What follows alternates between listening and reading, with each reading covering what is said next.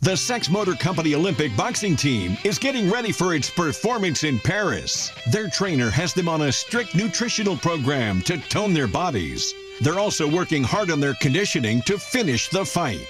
As we all know, in every sport, the right technique is essential, and no victory is secure without pure determination. The Sax Motor Company Olympic boxing team is ready to knock out the competition. Cheer on Team USA in Paris this summer.